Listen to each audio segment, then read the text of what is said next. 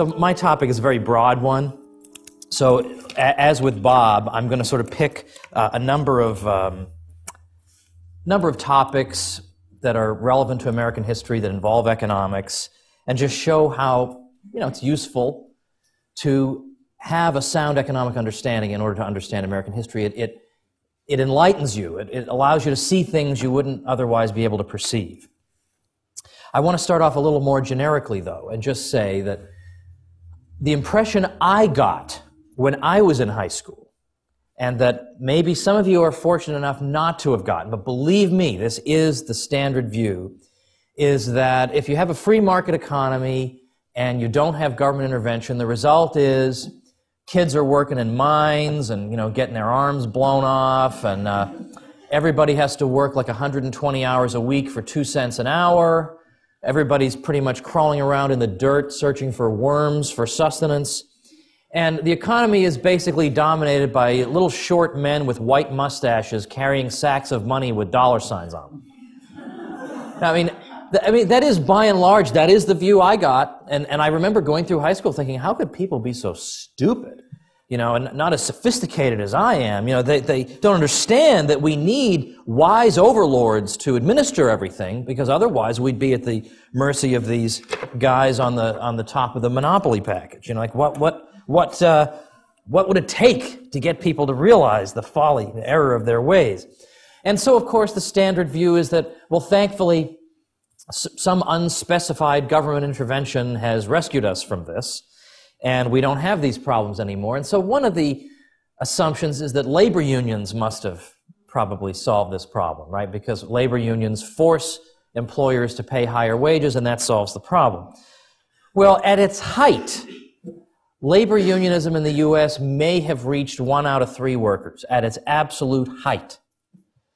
Uh, the American workers have typically been the least unionized, or at least among, uh, among the lowest, lowest unionized in the developed world, certainly compared to Europe. Europe's workers were much more heavily unionized, and yet somehow, without the unions to protect them from the terrible exploiters, American workers consistently were the best paid and compensated. Uh, we see this in the, in the 20s and, and uh, really throughout American history. Well, that's not supposed to be possible, right? I mean, that's that's not, that's the opposite of what we're, we're told. How could this have happened?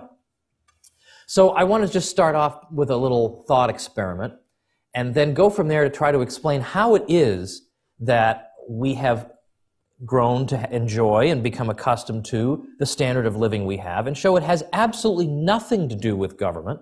The only thing the government can do in terms of the average standard of living is disrupt and uh, diminish it. That's, that's all it can do that it's entirely due to the free market, entirely due to the wicked private sector and the wicked exploiters that we have the standard of living we enjoy. And so this, the thought experiment runs like this. Let's suppose all the machinery that we use to produce things is just suddenly destroyed, like there's some mad Unabomber who's got this incredible bomb that can destroy all productive machinery.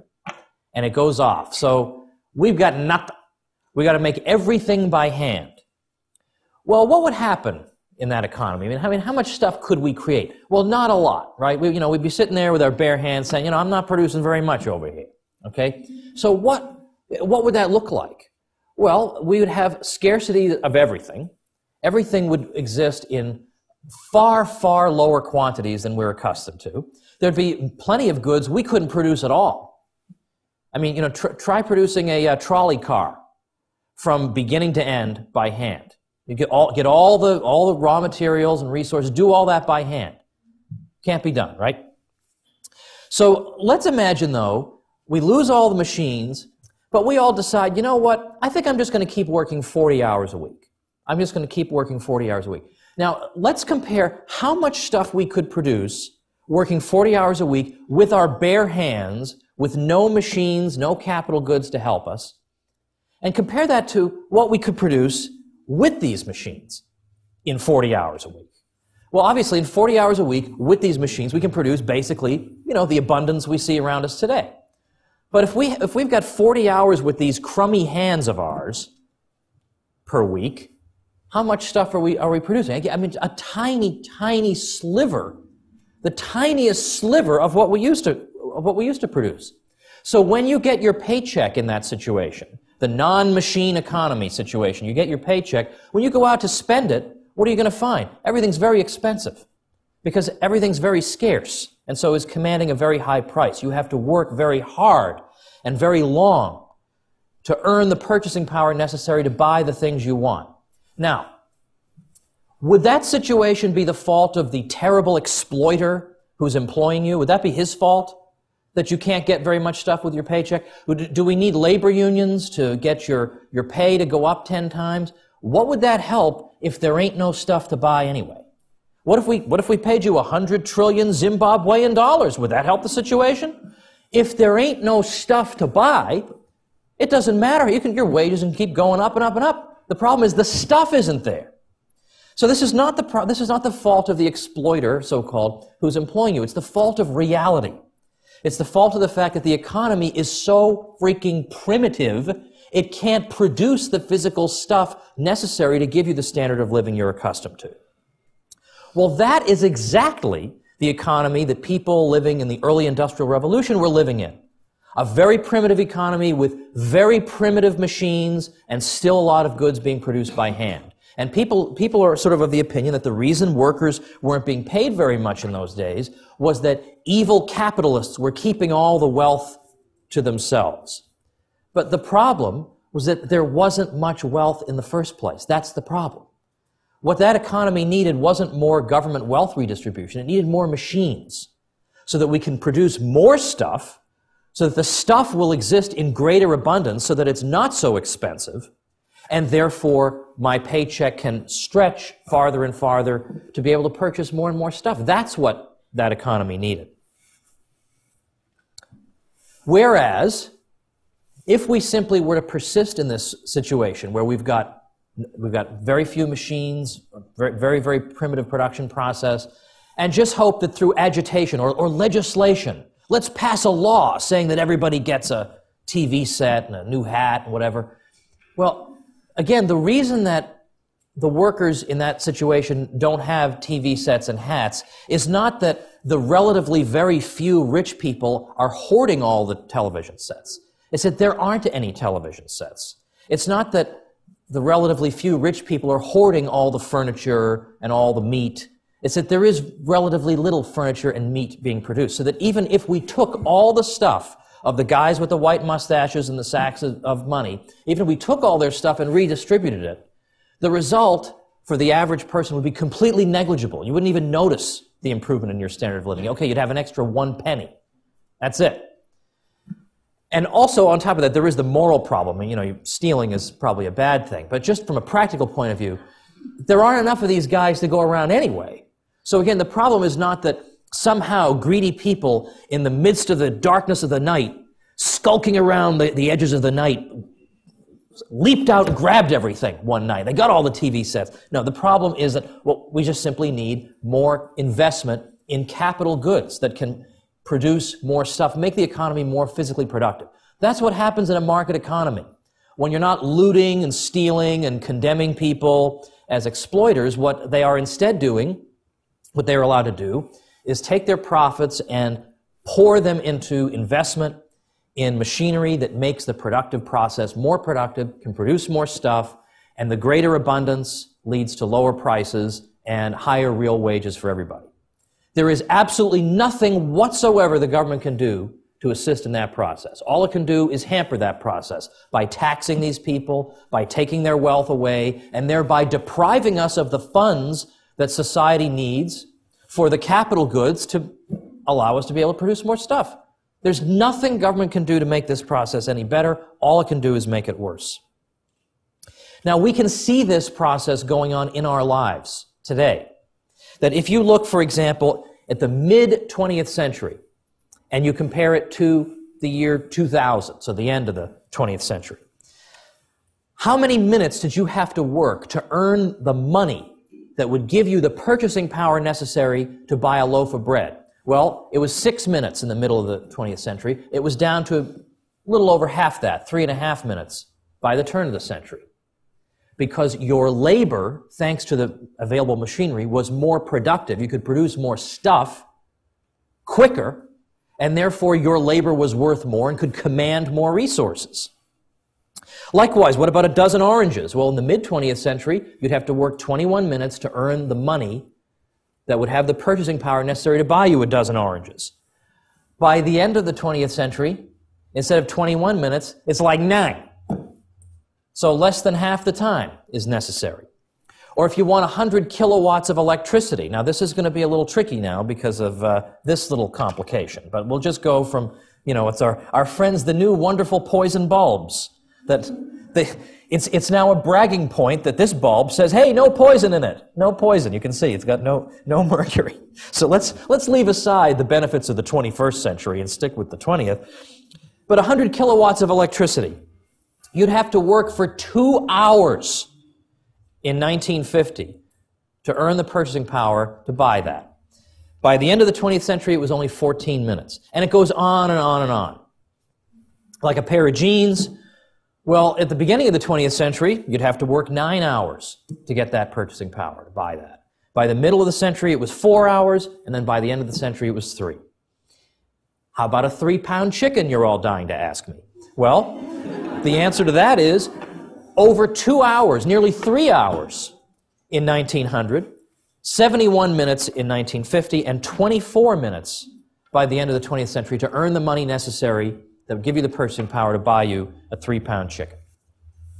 Now, what I've just described here is also relevant to the issue of child labor. This is another thing they throw against the market economy. You know, can't have free market because, you know, kids have to work and, and if, if we had a non-market economy, the kids could just skip through meadows all day, you know, and that, that's, and, and that's, that's the difference. But the question becomes, why are the children working? So no, no, one asked this question. The, the, assumption is that if you have one of these third world countries where a lot of children work, the assumption is that all the parents in that country just stink. Like this is like a country of stinko parents. Like we should just go in there and just take all these children away from these savages, you know, they, who don't know how to raise children. But we really should ask, I mean, try to understand the world around us. Like, why are the kids working in the first place? It's because the society they live in is so un- physically unproductive that if the kids don't work, the family starves. That's why they work. That's why child labor has existed since the beginning of time. It's not like people said, okay, capitalism's here, kids, off to the mines. kids have been working forever in every society. It never occurred to anyone that someday you could live in a society in which your labor was so productive thanks to the capital goods at your disposal, that you could work and earn enough purchasing power so that your kids wouldn't have to. Never occurred to anyone. But look at what we have here. I mean, look at it in our society. Think of how much more work one person can do with a steam shovel than he could do with a regular shovel. And multiply that, extrapolate that through our whole, our whole economy. But up till the free market uh, came along, up to the capitalist economy, everybody just assumed, okay, life consists of grinding poverty and then you're dead. Everybody assumed that. So nobody in the year 1100 is going around protesting poverty. No one. You will not find anyone protesting poverty or having a hunger strike or a candlelight vigil about poverty because everybody assumed, everybody assumed, of course you're going to be poor. That's the way life is. You're poor. Live with it. I mean, even the king, even the king has to urinate and then toss it out the window because they didn't have flush toilets until very recently. The king, for heaven's sake. All right, now that one Chad may end up bleeping out. We'll have to just see. But so you understand my point that it's only when the free market comes along and we see that poverty begins to diminish, that people become impatient with poverty and they say, wait a minute, they say, for the first time, it seems possible that poverty could be done away with. Then they start complaining about it.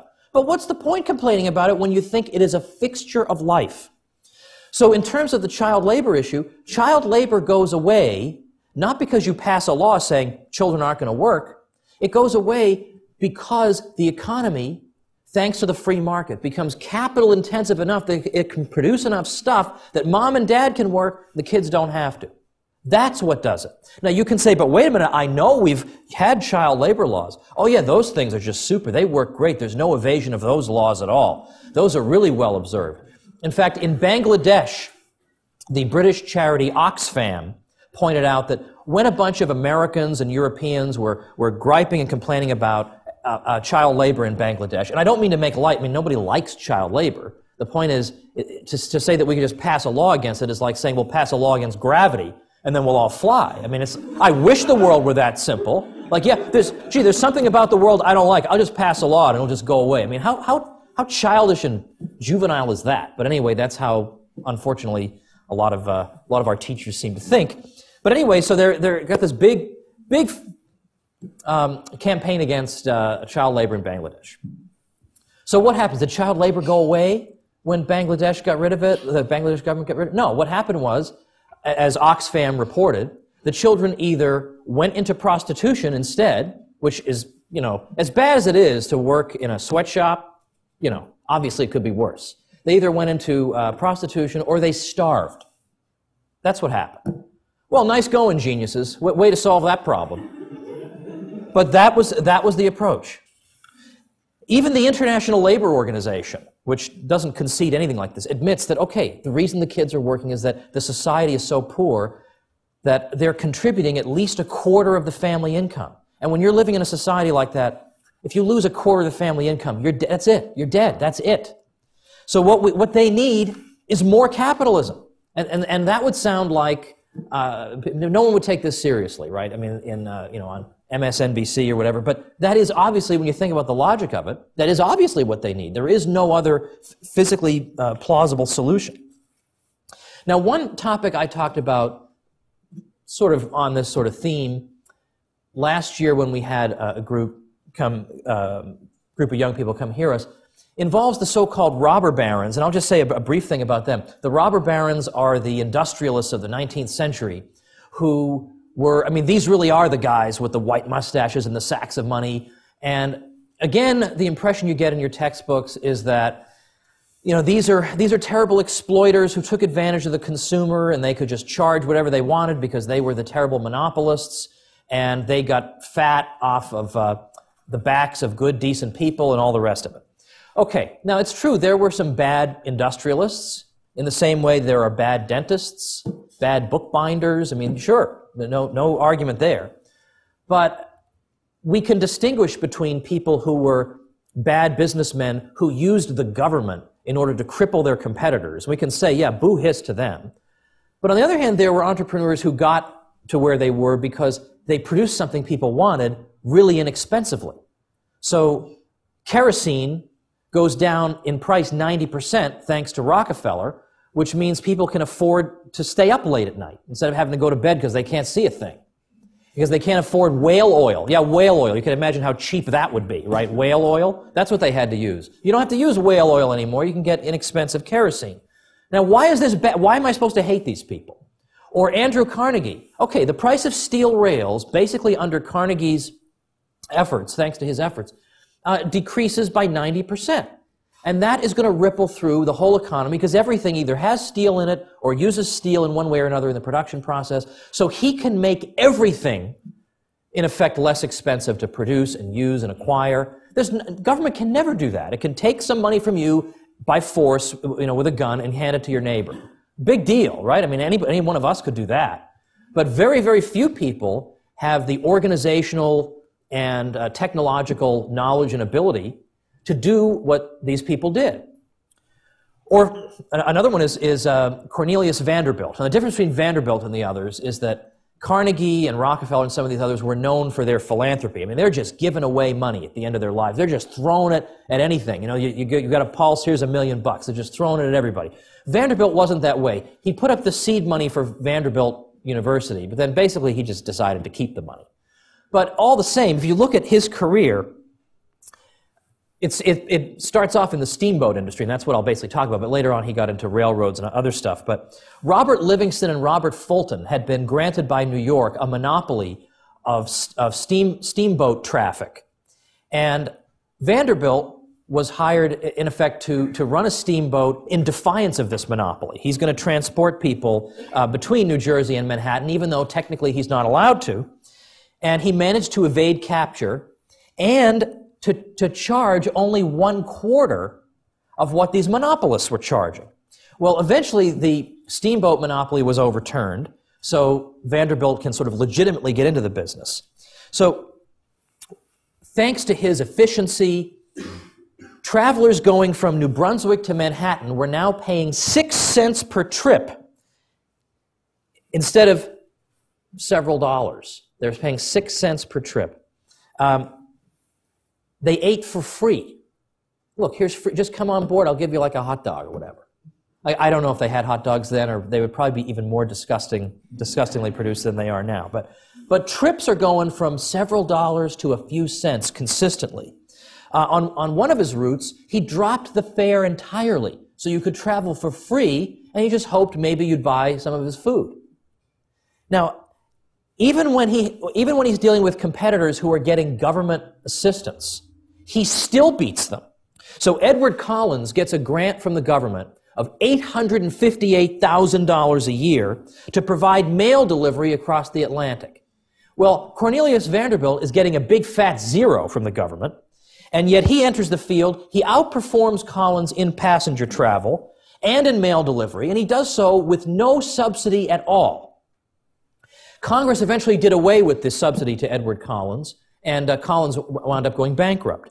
Meanwhile, Vanderbilt is also outperforming two steamship lines that are also subsidized that are bringing passengers and mail to California, and they're charging $600 per passenger uh, per trip.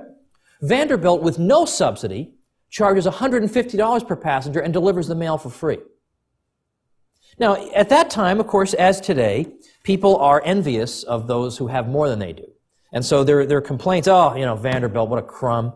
And so Edward Atkinson, who was a, a famous Boston manufacturer at the time, tried to put Vanderbilt's achievement in perspective here. He, he said to people, he said, okay, Vanderbilt is making um, 14 cents profit on every, ba- every barrel of flour shipped by his, uh, his railroads. Eventually, uh, Vanderbilt, as, I said, moved into railroad, uh, the railroad business. But Atkinson goes on to say, but at the same time, okay, sure, he's making 14 cents uh, per barrel, but you're saving, thanks to him, $2.75 a barrel.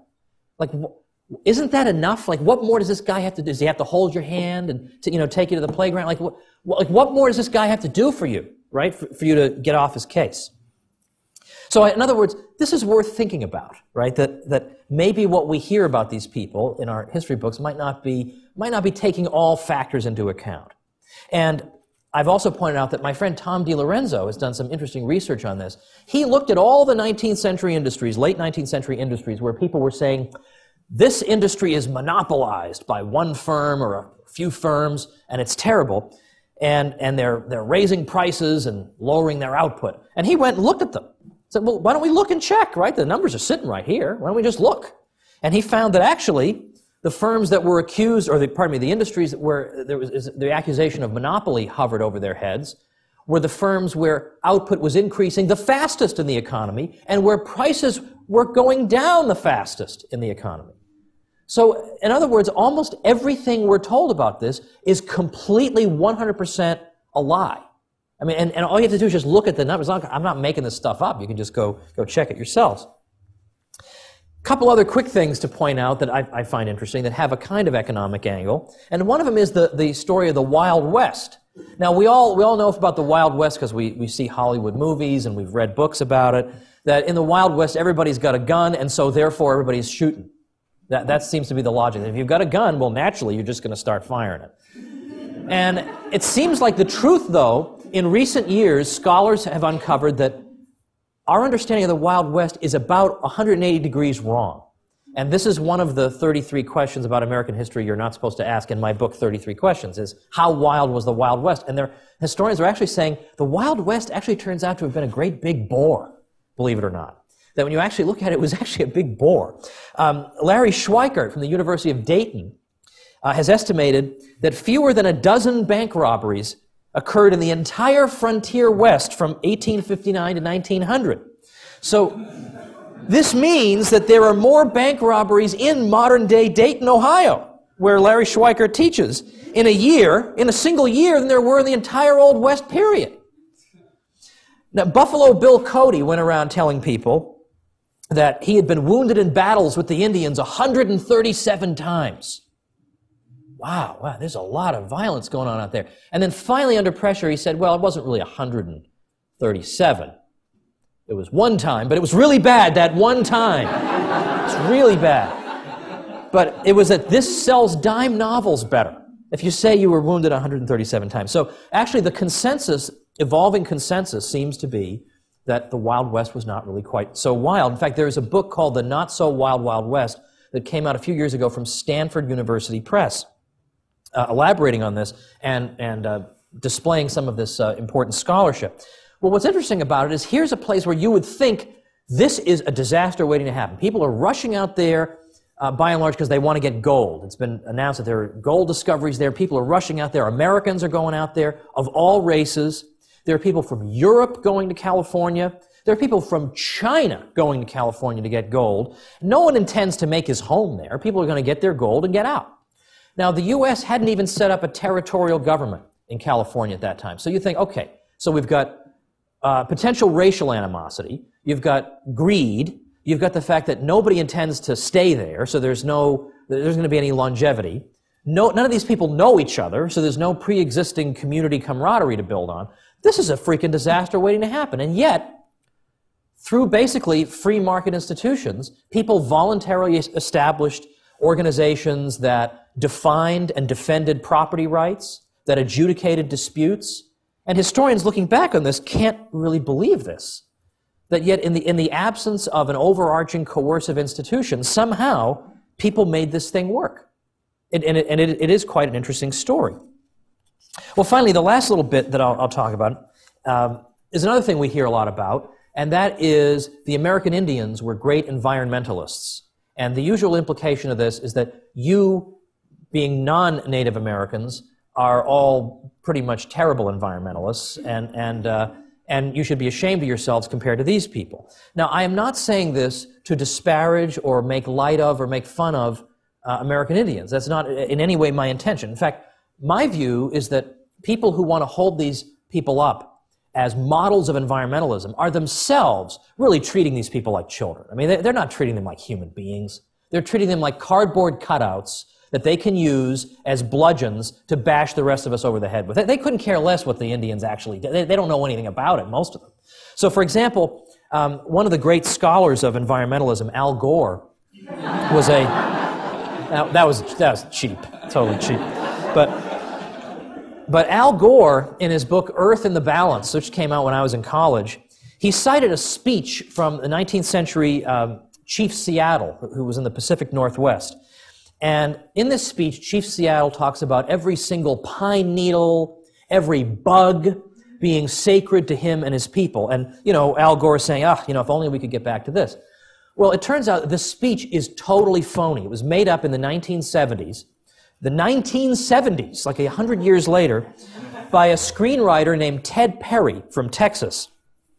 Now, ever now Perry just sort of, eh, eh, you know, made up the speech how he imagined it would have been, what the guy might have said. And then he saw that people were using it as if they were Chief Seattle's words. So Perry spent the rest of his career going around telling people, I made that speech up. I'm really sorry to break this to you, but I made that speech up. Well, Gore doesn't, doesn't know this, so he's repeating it like this is from Indian wisdom. And this one speech bears a tremendous amount of the uh, argument, argumentative burden to prove that the Indians were all environmentalists. Well, the guy made it up. So anyway, Perry, this poor guy Ted Perry, makes up this speech, and he goes through his life thinking, well, maybe I've made good. I've tried to overturn this mistake. Well, there's a children's book that hits number five on the New York Times bestseller list called Brother Eagle, Sister Sky, uh, written by some, some author, based on the phony Chief Seattle speech. He's going, oh, gosh, I can't. Then one day, Ted Perry is sitting in his own church and his pastor gets up and says, You know, as Chief Seattle said, he said, I can't believe this is happening. This can't be happening. So it just keeps going on and on. Well, earlier versions of the speech that we have are dubious for reasons of their own that I don't have time to get into, but I do talk about in the 33 Questions book. But when you look at it more closely, he's not saying every inch of ground everywhere is sacred to my people, such that we can only daintily touch it. He's not saying that. He's saying that specifically this land is sacred to us because our ancestors are buried here. Well, that's a very different thing from saying that land in general is a holy and sacred thing and no one can, can touch or do anything with it. So were the American Indians environmentalists? Well, like most people, They were good in some areas and bad in others. They were not, in fact, cardboard cutouts. They were not, in fact, um, ideological little creatures to be exploited uh, by leftists today. They were actually real human beings, believe it or not. They were actual people. So, yeah, they did do some bad things.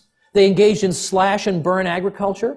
They wiped out entire animal populations because they, they on the assumption that any animals that they killed in a hunt would be reanimated. So they didn't worry about killing animal populations. And they destroyed forests and grasslands.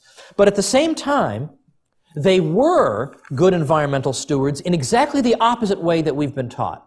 We've been taught that the American Indians didn't know anything about property, right? We heard this a million times. And that the white man comes along and says, this is mine, and the Indian scratches his head. What could you mean mine? You know, everything is in common. Well, that's not true.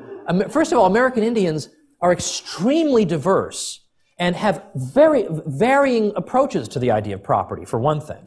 But by and large, one of the reasons that you might see some Indians having a view of property that is relatively communal is that these were Indians who lived in areas of tremendous abundance. So, like right now, air exists in such great abundance, we don't have property rights in it. We don't argue about it. I don't say, hey, wait a minute, you just breathed, you, you were just breathing my air, you jerk.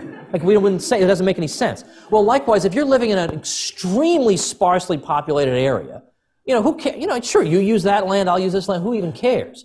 But as things grow more and more scarce, then you start to see various tribes working out some type of property title arrangement and assignment. So again, they were, they were actual people, okay? They had, they actually thought this through. And so what they would do is, when uh, they would find that game is becoming scarce, well, they would assign property rights. They'd say, this tribe can hunt in this area, this tribe can hunt in this area. And that protects against overhunting. Because if we just say, okay, everybody, it's every man for himself, just go kill whatever you want to kill, well, everybody will just think, well, I better just go kill anybody, I, any animal I can, because any animal I don't kill will be killed by somebody else, and this is my only chance to get it. No one thinks about tomorrow. They just think, I gotta just get when the getting's good. But if my tribe has care of this area in terms of hunting, well, we don't, we have an incentive not to kill every single animal now, because then what are we going to do next year? We have an incentive to preserve some for the future. And so we guard our property rights. We make sure that other people, poachers don't come in and just start killing arbitrarily. No, because that hurts us, because then we won't have anything for next year. So they used basically property rights, in effect, to conserve in, in areas like this, whether it was salmon or livestock or whatever. And so this is, and, and, and just one last thing on this point, and then I'll, I'll, wrap up, is that very recently in Wyoming, the Arapahoes on the uh, Wind River Reservation in Wyoming have been riding around on all-terrain vehicles, just, just killing animals everywhere and just wiping out animal populations. And so what happened to their spiritual kinship with nature? Well, here's what happened to it. There's no incentive for them not to do that. There are no property rights in that land or, or to those animals. So might as well kill them all now because I can't since I can't privatize the land, I can't reap the benefits of preserving anything for the future because it doesn't, doesn't belong to me. I got to just kill them all now. So, in other words, the Indians responded to incentives. Again, they're people. They responded to incentives. But they show us that you can use property rights to preserve species and preserve the environment. So it's in fact the very thing we're told the Indians knew nothing about, namely private property rights. It's that very institution that they used to protect the environment. So they were environmentalists, but not in the way we're typically told. All right. Well, i am I'm already over the time, so I'll just simply leave you with this. We haven't actually mentioned today that the Mises Institute promotes something called the Austrian School of Economics. It's a school, not, it's not a building, it's a school of, of thought that is the oldest consistently existing school of economic thought, probably the smallest right now, but the fastest growing, because we have the fewest stooges in the Austrian school. We have the fewest bootlickers. Uh, our, our, economists don't want to go to Washington and tell them whatever they want to hear. We tell them the opposite of what they want to hear, which is why no one invites us to Washington. But the Austrian school, these are the economists who predicted the crash we're going through now, who predicted the Great Depression at a time when they were laughed at, where they were told that this is a time of permanent prosperity. Uh, in fact, uh, Irving Fisher said that uh, stocks had reached a permanently high plateau about three seconds before the stock market crash came. So there are people who, who are interested in what we're saying more and more. It's the Austrian school of economics in particular that can help to keep you from being clueless. so that you won't be just another one of these drones who repeats what's said on MSNBC, who says, oh, we just need to give more power to our wise overlords. That's what they want you to be. Man, there is nothing they would like more than to see you young people become a bunch of drones who just repeat what they hear at some presidential press conference and say, oh, we must do whatever our wise leader says. And whatever. That's what they want. Don't think. That's exactly what they want. But what the Mises Institute challenges you to do is the opposite, is to think, is to listen to people who are out of fashion, because those are the ones who typically are right. The bootlickers are very much in fashion, and they told us everything was just super in the middle of 2007. And they're telling us things are turning around and they're going to be just great uh, uh, within 10 minutes. You know, at some point, you got to say, I don't care what those people think. I want to follow the people who have said what is true, who have pursued the truth, regardless of what it meant for their careers, because they believe in the truth and they want to understand the world as it really is, not how politicians want it to be. So I hope you'll join us. Thank you very much.